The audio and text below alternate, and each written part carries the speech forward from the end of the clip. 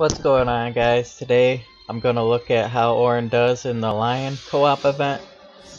Since uh, Lion's about to leave, wanna make sure wanna see how good uh, Auron is. This is uh, an event that a lot of people really do not like. I'm gonna start off with Purgatory here even though I'm gonna take some brave damage. Unfortunately, Auron didn't put the debuff on him, so that's always lame.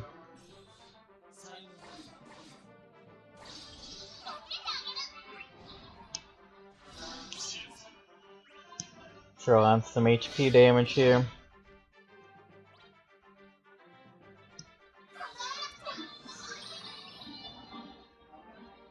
Let's try again. Nope.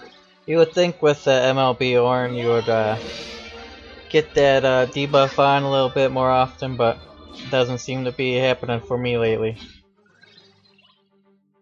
Pretty annoying, really.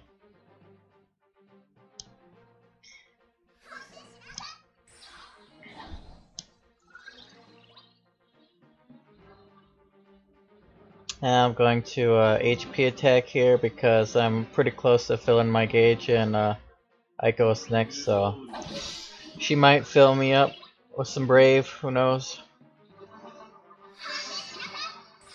That looks like what she's gonna do.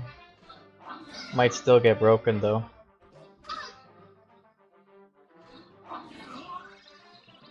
Nope. Taking the HP damage.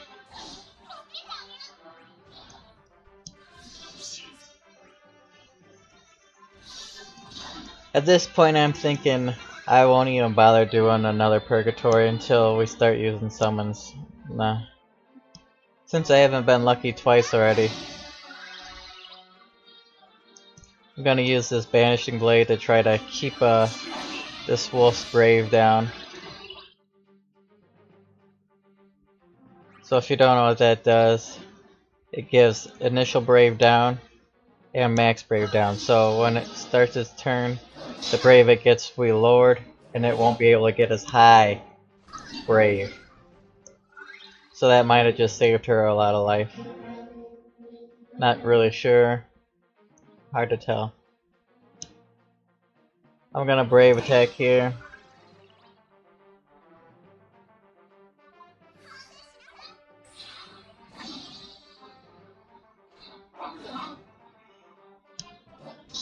The only thing I like about being in uh, parties with Cecil is I always feel like he's gonna just get unlucky and one of these wolves are just gonna kill him. So it makes me scared that we're just gonna lose based on that. Gonna throw off an HP attack here. Someone just popped up. So hopefully the summon train starts going off and we can kill him within this window here.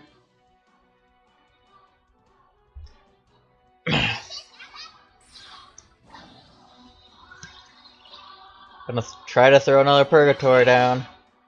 And unlucky again.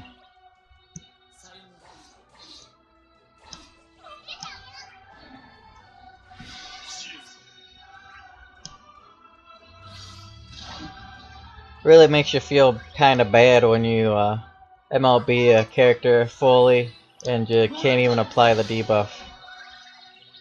Let's try it our final time. See if we can get it this time. Finally, there we go.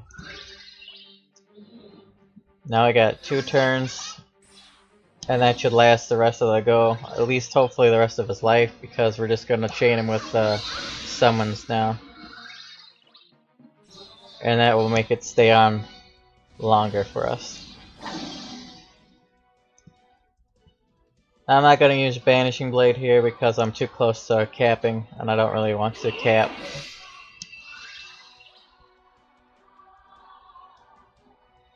Looks like Cecil's got one more Valiant blow, so he's probably annoyed that I didn't uh, save my Brave.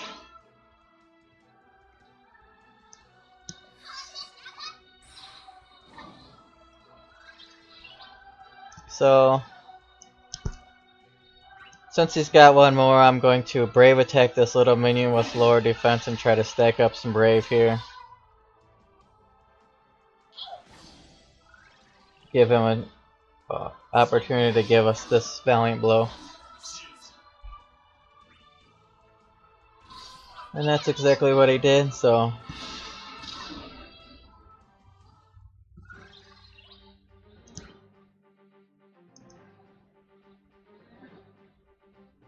Here I'm going to uh, try to break. I'm just going to use Banishing Blade on this.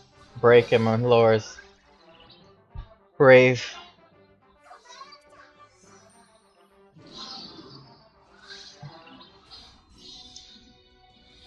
Alright. Hopefully this is the end of this. Unfortunate.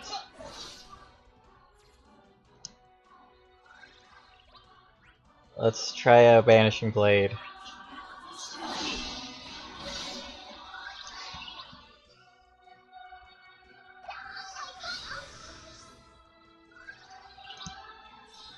Alright, we're gonna Brave attack this and hope that uh, Cecil can take him down.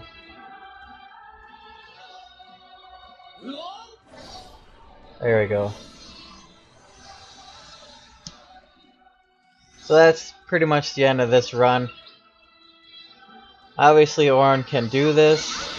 I've heard a lot of people say he was a really trash character, especially without his EX, but uh, this was a really annoying fight for a lot of people, and we did beat it pretty easily, so... And Auron wasn't even put on his debuff, so I mean that should have helped us a lot if he would have been on earlier, so... I don't think he is that bad for this.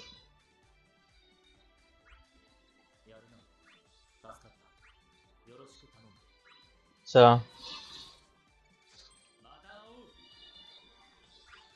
Go on with him if you want to use him for this event. He can definitely do it. I'm gonna make a make this a thing every co-op. I'm gonna record a Auron go. Make sure he can uh, beat it and not be a liability, which I definitely don't think he was in this, even with him missing all his debuffs. So see you later.